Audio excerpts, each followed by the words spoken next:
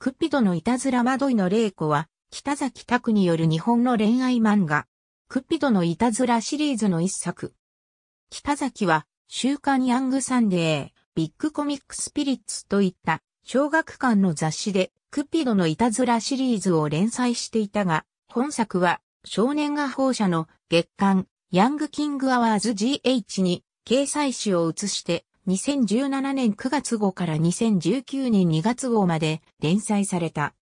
コミックス2巻の後書きによれば、マスラオの連載で疲れていた北崎に編集から幽霊の外傷がいて、コートの下は金箔全裸というアイデアが出たのが元であるという。当初、読み切りとして考えられたが、ネームが増量し、読み切りから短期集中連載、コミックス2巻分のボリュームへと膨れ上がった。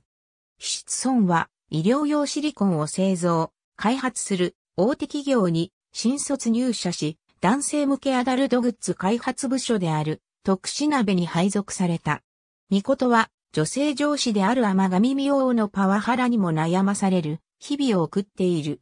アダルトサイトを見ていたミコトは、ミオそっくりの女優霊子を見つけ、うさばらしもあって課金してしまう。するとミコトの目の前に霊子の幽霊が現れる。